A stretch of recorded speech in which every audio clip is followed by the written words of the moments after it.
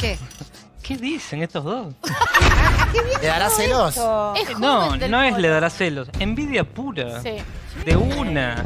Real muere por estar conduciendo Gran Hermano. Santiago es así si lo ves en persona, no tomas No, sol. pero aparte, más allá de lo del filtro y todo eso, lo entiendes, un chiste, el muñequito Sí. de cera.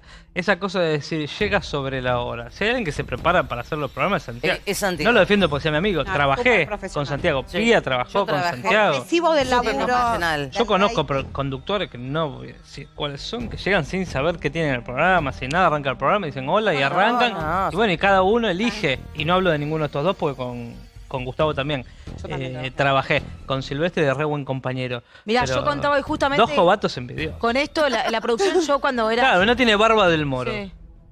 ¿Y por qué no hablamos del quincho de Real? Claro, Claro, seamos Ya realistas. está hablar, ya está hablar del No, que es la de manera de trabajar de Santiago, Ya que yo me acuerdo y contaba justo la Vos te producción. tomaste la cerveza y me afectó Sí. a mí. ¿no?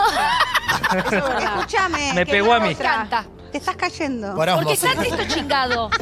Sí, un día terminás en el piso. Es un samba. Es un samba, el sillón samba. Y vos que estás medio samba, peor. Y es re joven Santi, tiene 44 años. Tampoco es un nene. Bueno, pero, es bueno, joven, se 50 le mantiene. mando. Ah, pero parece de 20. divino. Sí, es pero divino, parece- igualmente divino. se cuida. No, a mí lo de lo- lo- los filtros, eso me parece un chiste, pero eso de insinuar como que, que lo están gastando, lo están exponiendo a que está haciendo 20 puntos todos los La días. está rompiendo. La está rompiendo. O sea, la rompe. Y además, Llegando un conductor que la rompe con 20 puntos todos los días es. más allá de que la rompa, le podría haber ido pésimo, es uno de los mejores conductores de la tele, como lo es Guido, por Sí, ejemplo. pero O sea, pueden estar todos los días en la tele tranquilamente. Sí. Yo me lo imaginé vos, Hay o no habían huyeron. contado Real que Del Moro lo llamó antes de empezar Gran Hermano. ¿No? ¿Había contado? Sí. Que lo, había- que lo llamaron, o sea, que estaba.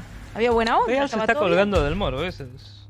Eso me re. No, y una que cosa que voy a decir que a la hora de trabajar Santiago, yo me acuerdo que era su movilidad, yo me juntaba a tomar un café todos los días con el productor ejecutivo, con él se diseñaba, terminaba y él me llamaba todas las noches para hacer un análisis. Es súper laburante, Sí, está es todos los detalles. Muy profesional. Súper laburante. Así que, nada que ver eso. Bueno, tenemos tres nominados